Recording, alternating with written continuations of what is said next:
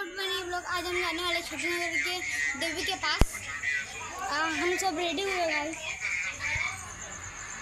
तो चलिए। गाइस देखो ये और ये फूल और ये देखो ये अगरबत्ती वो सब सामान और ये कपड़ा।